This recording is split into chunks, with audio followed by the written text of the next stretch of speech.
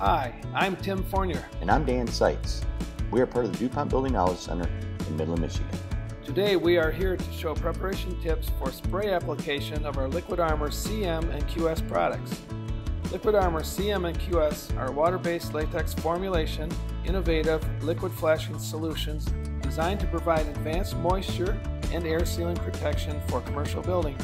If you see color separation of the Liquid Armor CM or QS upon opening the pail, carefully fold in the separated material using a stir stick.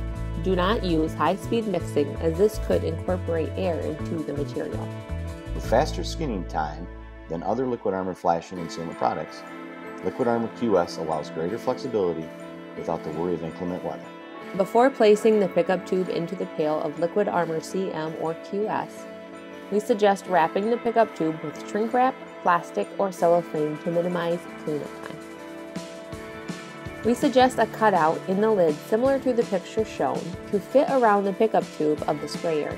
This should keep the top layer of material from skinning in the pail for a short period of time.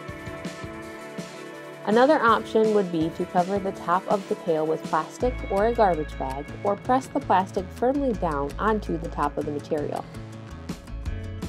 If using the contractor grade gun, the filter should be removed prior to use. The professional gun does not contain a filter. The material flows directly to the tip of the gun. During field trials, it has been found that when removing the manifold filter, the spraying performance is enhanced. That is additional knowledge for preparation tips when spraying Liquid Armor CM and Liquid Armor QS. And that's building knowledge